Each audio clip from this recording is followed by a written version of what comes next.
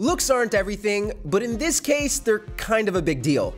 Hey everyone, I'm Ricky with Watch Mojo, and today we're counting down our picks for the top 10 graphics mods that made games way better.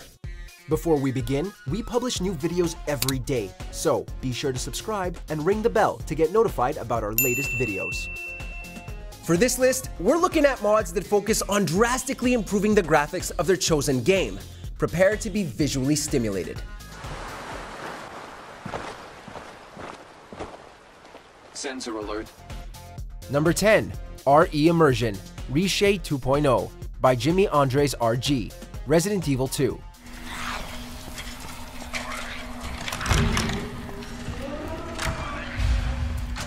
The Resident Evil 2 remake was a graphical triumph in a lot of ways. Its shadows and lighting, gore effects, and realistic damage modeling were all held in high regard. But that hasn't stopped talented modders from pushing the limits of the RE engine further than even Capcom dared. This reshader doesn't do anything too complex, but the tweaks it makes are enough to make the graphics much more realistic. By enhancing the game's blue tones, everything looks a lot less yellow, and many of the other colors are made much brighter. Everything is sharper and it even adds true HDR. I'll be back as soon as I find Chris. Number 9. Natural Vision Remastered by Razed, Grand Theft Auto 5.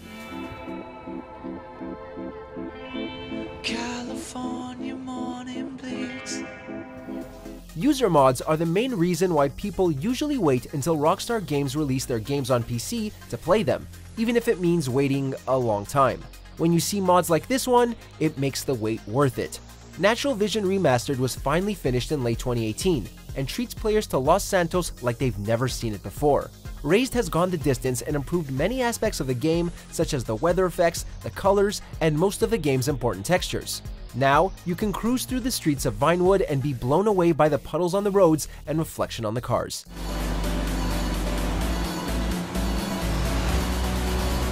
Number 8. Super Turbo Lighting Mod by Ascenthi. The Witcher 3 Wild Hunt. Il vous est arrivé quoi, la fille Controversy around a suspected graphical downgrade plagued The Witcher 3 upon its release, with many fans quick to point out that not even the PC version could hold its own against early trailers released pre-2014. This lighting mod aims to restore Witcher 3 to its pre-downgraded glory, fixing fog and atmospheric effects in cutscenes and in the Skellige Isles, as well as overhauling the lighting. The result is a much brighter and more beautiful version of the continent that only tweaks existing settings, not adding or removing any large files that might make the game too hard to run.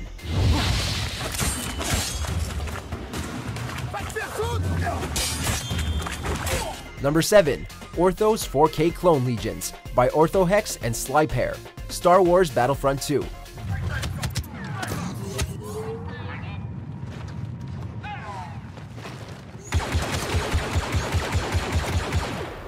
The Battlefront series has always promised gamers that they'll experience what it's like to be in a Star Wars movie, and while the franchise has come under fire for its excessive microtransactions, among other issues, it's hard to fault the graphics. This mod, however, goes one step further and improves details such as weathering, PBR materials, and the soldiers themselves. The clone army now has a whole new level of detail, making them look like they were ripped straight from the film itself. One can only hope future installments of the series will be able to match this mod.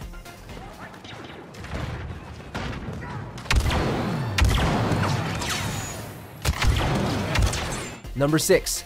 Morrowind Overhaul, Sounds and Graphics by Ornithocopter Team. The Elder Scrolls 3 Morrowind.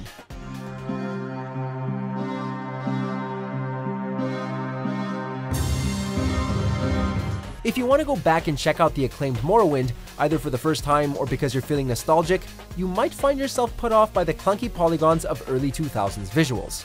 If this is the case, or even if you just want to add something extra to the experience of this classic, you can install the third and final version of this sound and graphics overhaul. Its aim is to preserve the integral feeling of playing an Elder Scrolls game while improving the aesthetics. Designed to be easy to install for first-time mod users, you can't go wrong with this one.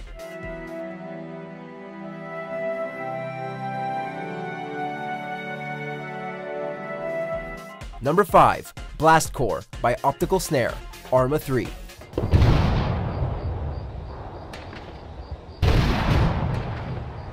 This mod is relatively simple, and it is intended to improve smoke and explosion effects to make a game that already prioritizes realism even more realistic. You don't need any other mods enabled to run Blast Core, though some players like to mix it with other mods that improve lighting and sound effects, and it's celebrated in the Arma community as one of the best mods available for the title. Guns have realistic sparks attached now, and smoke grenades billow and disperse naturally. For an intense tactical game like this, the devil is in the details.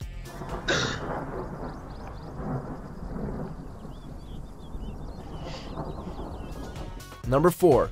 Photorealistic Commonwealth by Lou, Fallout 4. After so many Fallout games, it's easy to want to put some life and energy back into the wasteland. This mod might not add new NPCs or vegetation to make roaming the Commonwealth a less lonely experience, but it does make everything brighter, bolder, and all around nicer to look at than the usual grays and browns of post-apocalyptica. It uses a host of custom shaders to make Fallout 4 operate on a whole new visual level, and uses photo grading techniques from films and photography to make the Commonwealth stunning. It's a truly cinematic reimagining of nuclear devastation.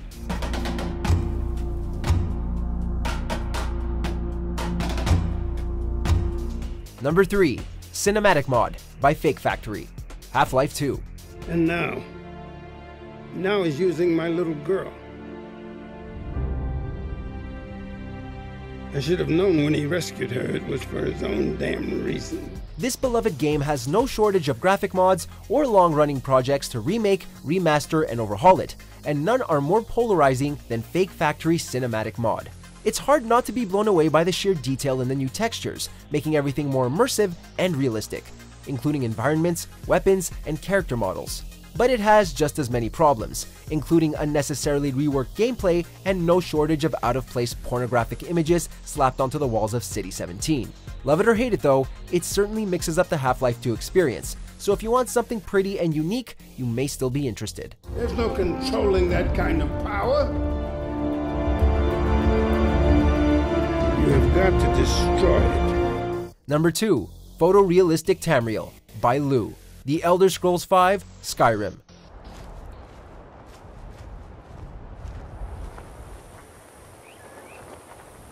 It's one of the most modded games out there, and no shortage of Skyrim's user-generated improvements are aimed at revamping the graphics. Even Bethesda themselves keep turning up the details in their seemingly endless re-releases. This mod, however, comes from the same creator as Photorealistic Commonwealth, so it also replicates cinematic color grading and graphical effects on par with Hollywood blockbusters. With these high-end coloring and lighting techniques at work, you'll be seeing Skyrim as you've never seen it before. You can also combine it with the thousands of other mods available, making Skyrim so visually customizable, it's difficult to quantify.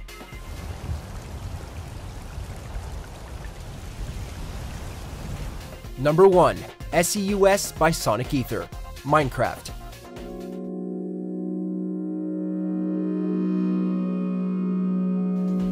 While Minecraft's appeal doesn't really lie with its graphics, there's no reason not to try and streamline them. Sonic Ether's Unbelievable Shaders mod has been years in the making and is still getting updates today. Recently, realistic ray tracing was integrated, which improves lighting effects by mimicking how sunlight works in real life. At its peak, a computer which runs Minecraft normally may struggle to run SEUS and its partner mods at the same time, but if you can get it up and running, it'll give you better clouds, realistic water, improved rain effects, and even vegetation that sways in the breeze.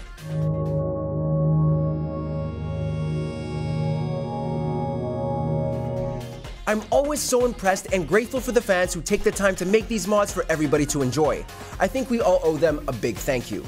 And with that, I want to thank you guys for watching till the end. If you liked the video, make sure to hit the like button, and for more gaming videos, subscribe to Watch Mojo.